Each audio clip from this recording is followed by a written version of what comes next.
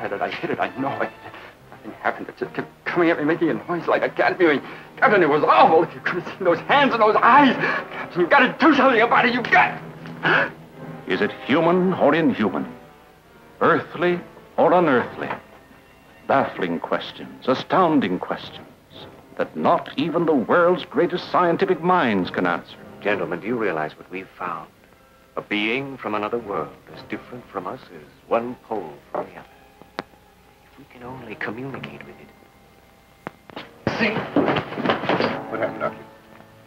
In the greenhouse, I was working. I couldn't see. Yeah.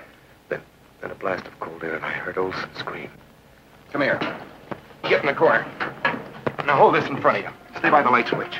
1.9. Needles hit the top.